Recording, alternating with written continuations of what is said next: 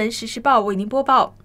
华为 CFO 孟晚舟在加拿大被拘捕，在中国引起的反弹与今年四月中兴被美国制裁时不遑多让。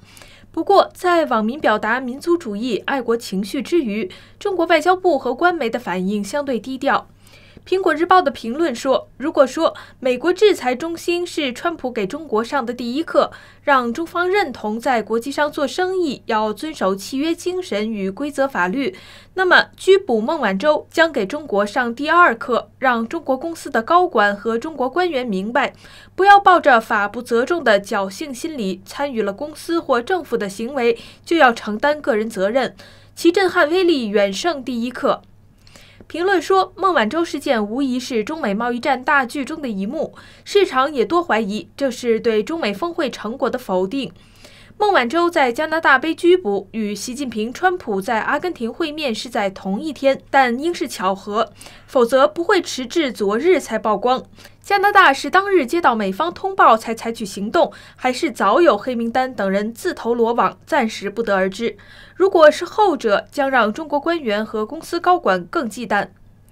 文章认为，由中方的反应看，一是自己知道自己是明知美方打压华为，中兴意在抑制中国通讯业发展和向世界扩张，但被人抓了把柄又能怎样？中国官方当初力挺中兴，声称准备好亮剑，要以牙还牙，到头来还不是打掉牙齿或血吞？二是，既然习近平已向川普低头，愿以一点二万亿美元的代价换取九十天的休战期，自然不想节外生枝，因此低调回应，期望获美方回报，以独立个案处理，像中兴事件那样，不影响整体贸易谈判。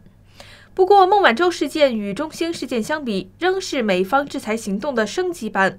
对中国官员和公司高管来说，政府机构或公司被制裁、被罚几十几百亿都可以无动于衷，但一旦个人财产被冻结，甚至人身自由被限制，就是天塌下来的大事。因此，中兴认罚认管后，中国官媒的评论还批评中兴破坏与美方合作的基本规则，警告国际型企业不要用商业利益来裹挟政府，强调国际市场做生意讲究的是契约精神与规则法律，而不是政府的行政介入。